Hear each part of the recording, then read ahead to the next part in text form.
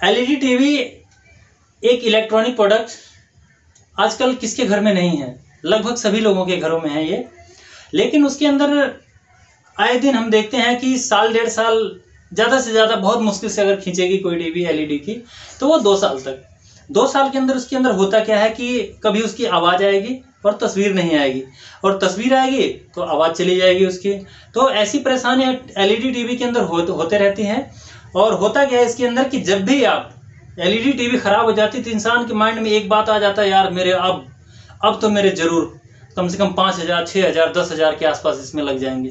क्योंकि इससे एक छोटा सा प्रोडक्ट भी, क्योंकि नया है ये मार्केट में, इस वजह से किसी को पता नहीं है कि ये रिपेयरिंग कैसे होगा, इसकी क्या प्रोसेस है रिपेयरिंग करने का।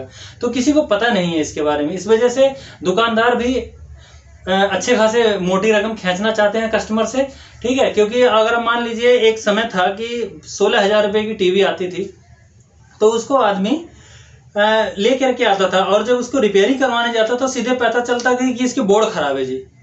ठीक है? मदरबोर्ड इसका डेड हो गया तो क्या इतना खर्चा आएगा जी? इसमें आएगा साढ़े आठ हज़ार रुपये खर्चा। और जब जिस बंदे ने टीवी को खरीदा था उस टाइम उसने लिया था पंद्रह हज़ार रुपये का। ठीक है? और आज के डेट में जैसे कि दो साल के बाद उस टीवी की कीमत हो गई नौ हज़ार रुपये अब नौ हज़ार होने के बाद में अगर बंदा साढ़े आठ हज़ार रुपये देगा उसको तो पाँच सौ रुपये दे करके नया ना ले लेगा वो। तो ऐसी दिक्कत सभी के पास आती रहती है, लेकिन सबसे बड़ी बात क्या है कि मेन बात है कि आखिर टीवी के अंदर खराब होता क्या है? ठीक है? जानने वाली बात यह है कि आखिर टीवी में खराब होता क्या है? दोस्तों, आपको हम लोग बता, मैं बता देता हूँ कि एलईडी टीवी के अंदर बहुत कम खर्चे के अंदर एलईडी टीवी रिपेयर होती है। बहुत कम चांस ऐसे होते हैं जिसके कारण कि मदरबोर्ड खराब हो जाए या हमारा पैनल खराब हो जाए। ये भी दो ही स्थिति में खराब होते हैं। मैं मदरबोर्ड अगर खराब हुआ तो इसके अंदर कोई एक पार्ट्स खराब हो जाएगा, कोई एक कंडेंसर खराब हो जाएगा, जिसकी वजह से आपके उसके अंदर वो वर्क नहीं करेगा। ठीक है? इसकी वजह से दुकानदार मदरबोर्ड चेंज कर देता है। और अगर पैनल खराब होगा तो पैनल के अंदर क्या खराब होता है? पैनल के अंदर कनेक्शन नहीं पहुंचेगा और या तो आपका पैनल टूट जाएगा, तभी उसको डेड माना जाएगा। ठीक है? तो ये कारण होते हैं हमारे टीवी और एलईडी टीवी जो हमारी एलईडी टीवी होती है उसके अंदर, यही कारण होता है कि इसी से पता चलता है कि हमारे मदरबोर्ड या एलईडी की स्क्रीन खराब हो गई है।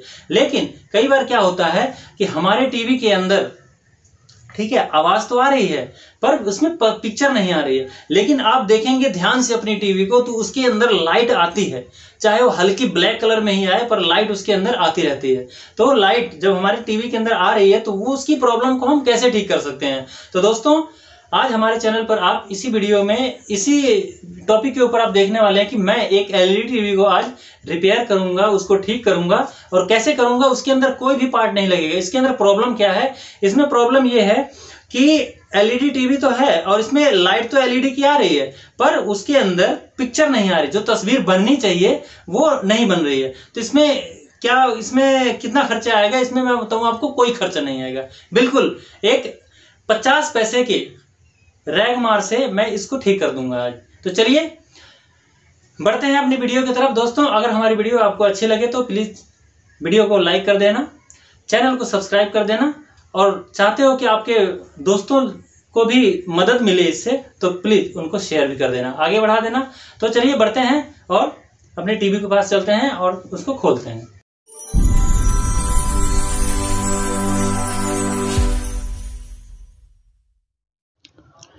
तो फ्रेंड्स, मैं आ गया हूँ अपनी टीवी के पास और आप देख सकते हैं कि ये बत्तीस इंची की एलईडी टीवी है और वैसे तो ये लोकल कंपनी ही है, लेकिन आप इसके अंदर जो प्रॉब्लम देखेंगे वो प्रॉब्लम जेनवन ही है। जेनवन का मतलब ये है कि जो प्रॉब्लम आपके एल जी सैमसंग में आती है, वही प्रॉब्लम इसमें भी आती है। आप देखेंगे कि कई बार आपकी टीवी के अंदर लाइट तो आ रही होती है, लेकिन उसके अंदर तस्वीर नहीं आती। हल्की आप देखेंगे कि अंदर, जब आप इसको चालू करेंगे तो आप देखेंगे कि इसके अंदर हल्की हल्की लाइट आती रहती है अंदर। यानी कि इसके अंदर जो एलईडी लगी हुई है, जो तस्वीर को दिखाती है हमें, वो सही है। तो मैं आपको इसको, देखिए, हमने प्लग लगा रखा है लाइट ऑन कर दिया है। लाइट ऑन करके मैं आपको चला के दिखाता हूँ, देखो। इसमें लाइट आ रही है और आप देखेंगे, अभी मैं जब इसको ऑन करूँगा तो ऑन करने के बाद में ये, इसमें नीले, नीला कलर हल्का नीला ब्लैक ही दिखाई देगा, लेकिन वो, ये चालू होगी तो इसमें नज़र आएगा। अभी देखेंगे आप। देखिए, ये टीवी ऑन हो गई है। देखिए, हल्का नीला आ रहा है, देखिए। ये देखिए ऑन कर दिया है मैंने। तो इसमें अंदर लाइट आ रही है, लेकिन ये तस्वीर नहीं दिखा रहा है। और इसके अंदर जब हम सेट बॉक्स लगाते हैं तो इसके अंदर आवाज़ आती है। ठीक है? तो इसी को आज हम ठीक करेंगे और आपको मैं बताऊँगा कि इसके अंदर क्या प्रॉब्लम है। इसमें कोई भी पार्ट्स नहीं लगेगा। तो चलिए, सबसे पहले इसको हम फटाफट से खोल लेते हैं। जल्दी से इसको खोलेंगे। फास्ट फॉरवर्ड किया है मैंने वीडियो को, ताकि आपका समय बच सके, आप जल्दी से इसे सीख पाएँ। तो दोस्तों, हमने इसके सारे पेज निकाल लिए हैं। अब इसके हम बैक कवर को निकालते हैं। और इसको थोड़ा सा आपको आराम से निकालना होता है, क्योंकि नहीं तो इसमें नाजुक तार लगे होते हैं अंदर। देखिए, ये आप देख रहे हैं जो सबसे आगे लगी हुई है, आपको ये स्पीकर की तार है ये, जो मैं हाथ लगा रहा हूँ। इसको निकाल लीजिए पहले और उसको आप खड़ा कर दीजिए। बैक कवर को पीछे खड़ा कर दीजिए। देखिए, ये है हमारी टीवी की, एलईडी टीवी की ये मदरबोर्ड है और इसके अंदर प्रॉब्लम क्या आती है मैं आपको बताता हूँ। देखिए इसमें प्रॉब्लम है ये कि जो इसके अंदर एलईडी है एलईडी तो जल रही है, ठीक है? तो क्योंकि नीली नीली जो ब्लू कलर की लाइट है, वो इसी वजह से लाइट आ रही है इसमें, क्योंकि उसकी एलईडी जल रही है। और ये जो तार मैं आपको दिखा रहा हूँ, देखिए, ये आपकी, ये एलईडी की वायर है। और ये जो तार है, ये आपकी डिस्प्ले में जाती है। ये यहाँ से लेकर के आगे से घूम करके ये डिस्प्ले में जा रही है। तो एक यहाँ से इसके कंपोनेंट को निकाल करके और एक आगे के कंपोनेंट को निकाल करके। इन दोनों को निकालने के बाद में इसको हमें रैगमार जो मैंने आपको दिखाया, सबसे पतला, बारीक रैगमार लीजिए, कम से कम एक नंबर का। ठीक है? ये देखिए छोटा सा मैंने ड्रैग मार ले रखा है, बारीक है ये और टेस्टर इन्हीं दोनों की मदद से हम इसको आज ठीक करेंगे। तो चलिए, इसके कंपोनेंट को हम इसके वायर को निकाल लेते हैं यहाँ से, इसके सॉकेट है और ये जैसे आप निकालेंगे, इसको वैसे ही लगा दीजिएगा। देखिए, सबसे पहले हमें चेक कर लेना, इसके अंदर जो वायर लगी हैं, कोई वायर लूज़ तो नहीं है कोई भी? ठीक है, आप वायर चेक कर लें और ये जो आगे एक लगा हुआ है पत्ता, इस पत्ते को भी हमें निकाल लेना है बाहर। चलिए, उसको भी निकाल लेते हैं। देखिए, एक तो ये, हमने अभी यहाँ से आपको वायर निकाला है, जो सॉकेट लगा हुआ था ये, इसी के अंदर लगा हुआ था। मैं आपको थोड़ा नज़दीक से दिखा देता हूँ और देखिए ये ये देखिए, ये जंग, ये सीलन की वजह से ऐसी दिक्कत आती है। जिसके घर में सीलन होती है तो इसके अंदर यही दिक्कत आती है कि इनके जो वायर होते हैं, जो इसकी जो जॉइंट होता है, वहाँ पर कार्बन आ जाता है। ठीक है? ये कार्बन आ जाता है। कार्बन आने की वजह से ही इस टीवी के अंदर ये ये प्रॉब्लम आती है। तो चलिए, इसको भी हम इस तरह से इसमें लॉक लगा हुआ है। साइड में दबा करके निकलेगा ये। थोड़ा सा ज़ोर लगाना पड़ेगा। तो इसको हम निकाल लेते हैं। देखिए, इसके ऊपर ये देखिए छोटी छोटी पत्तियाँ हैं। इनके ऊपर आया हुआ है कार्बन। कैमरे के अंदर आपको अच्छे से नहीं दिखाई देगा, लेकिन मुझे इस साफ़ दिख रहा है इसमें कि यहाँ पे कार्बन आ गया है। तो उस कार्बन को, और ये कार्बन आया क्यों? क्योंकि हमारे जो, जिस कस्टमर के घर में ये टीवी लगी हुई थी, वहाँ पे बहुत सीलन थी। उस सीलन के कारण इसमें कार्बन आया था और इस रेगमार से हम तीन तीन साइड को हम साफ़ करेंगे। इसके, देखिए, इसको हम साफ़ करेंगे सबसे पहले। जहाँ पे हमारा सॉकेट लगा हुआ था। रेगमार से दोनों साइड से, चारों साइड से जहाँ तक हम पहुँच सकते हैं, वहाँ से अच्छे से हम साफ़ कर लेंगे। ठीक है? चारों तरफ़ से हमें रगड़ करके हल्के हाथ से, क्योंकि इसकी जो पत्तियाँ हैं, निकली हुई हैं, वो ख़राब ना हो जाएँ, ये भी हमें ध्यान रखना है। तो इसको हमें साफ़ कर लेना है, और इसकी जो, हमने जो पत्ता निकाला था, देखिए ये, इसको भी हमें रख करके अच्छे से इसके कंपोनेंट जो पॉइंट हैं, इनको जो पीतल के पॉइंट बने हुए हैं इसके अंदर, उसको भी हमें साफ़ कर लेना है। जब हमारा ये अच्छे से साफ़ हो जाएगा तो हमें ये चमकने लग जाएगा, क्योंकि उसका ऊपर से कार्बन हट जाएगा।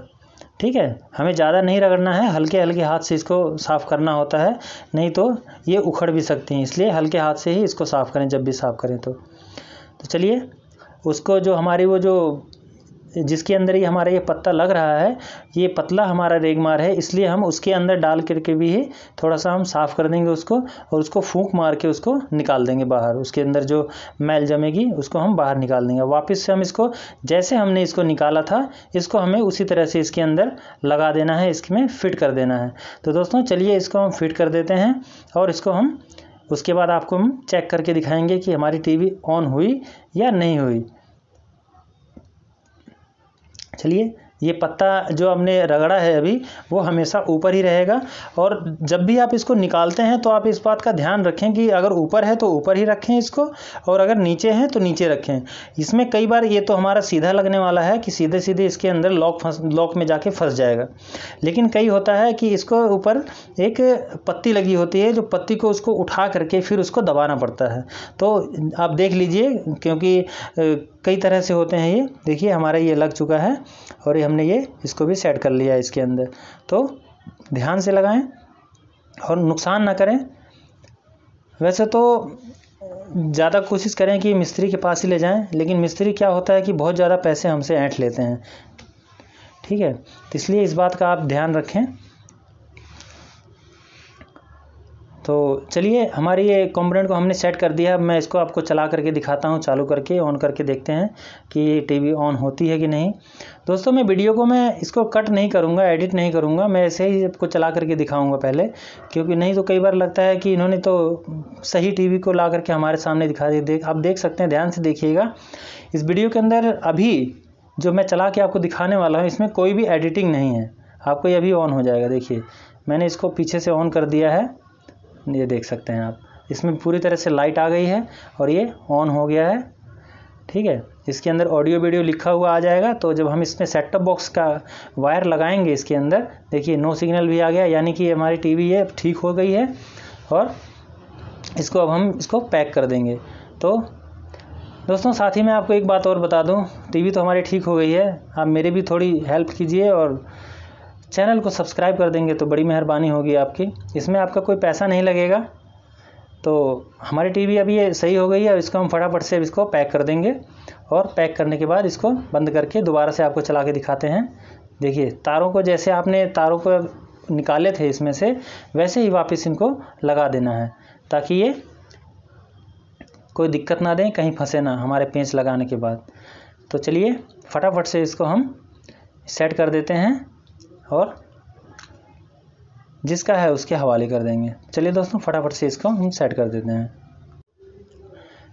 दोस्तों, तारों को अच्छे से इसको सेट करना होता है, नहीं तो ये हम जब पेंच इसमें लगाएँगे तो इसमें ये फंसने लग जाते हैं। इसलिए ये जहाँ जहाँ से हमने टेप हटाया था, वापस उसको दोबारा वहीं से लगा देंगे।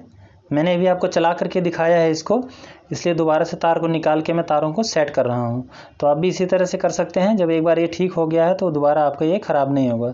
तो जो भी टेप आपने निकाला था, वापस उसको वैसे ही लगा दीजिए, वैसे सेट कर दीजिए। तो चलिए, फटाफट से इसके पेंच उसको लगा करके हम टाइट कर देते हैं। हमारा तार सेट हो गया है। इसको अब हम, इसको पेंच लगा करके अच्छे से टाइट कर देंगे और इसको पैक कर देंगे। सो फ्रेंड्स इसी तरह से हमारी वीडियो को देखते रहिए लाइक शेयर और सब्सक्राइब भी कीजिएगा। बहुत बहुत धन्यवाद।